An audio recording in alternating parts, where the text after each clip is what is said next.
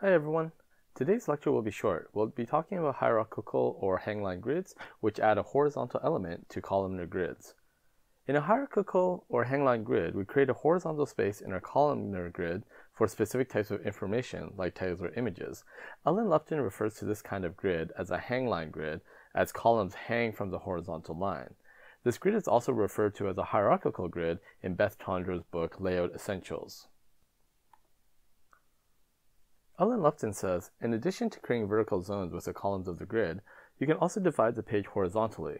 For example, an area across the top can be reserved for images and captions, and body text can hang from a common line.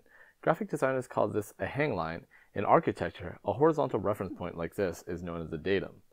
You can see in this example that the horizontal space holds images and captions. So how do you construct a hierarchical grid?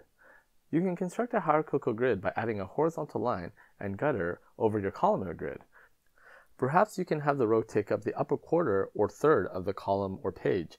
It could also be something related to the golden section.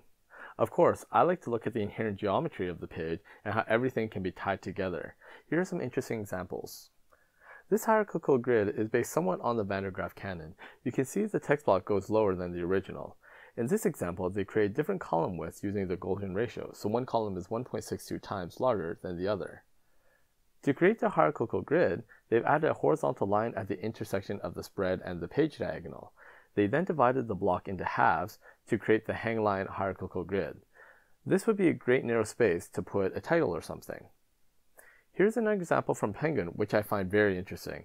In this example, they use it for a cover of a book, but there's no reason you couldn't use something like this inside of a book. Let's take a look and see how it's created.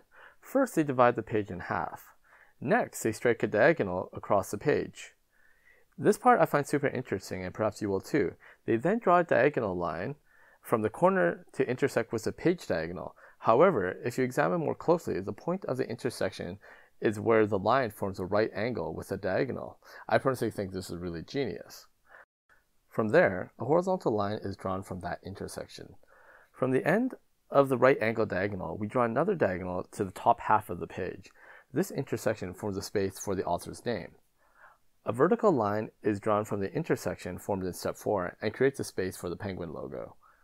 Another diagonal is drawn from the upper left corner to the bottom of the first horizontal. This intersection formed here creates a space for the book's title and the publisher's name. I really like this example because of its approach to divide the page using diagonals and right angles. So when do you use hierarchical grids? Hierarchical grids are best used when you have information that is structured and repeats in form.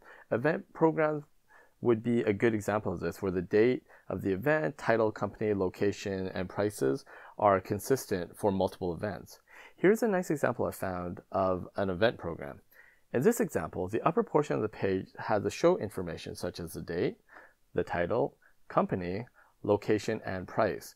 It is also centered on each page and the consistent look gives a nice rhythm and structure to the looser content below. This contrast between the structured top and the playful bottom makes an interesting, fun, and inviting design, but still looks appropriate and professional.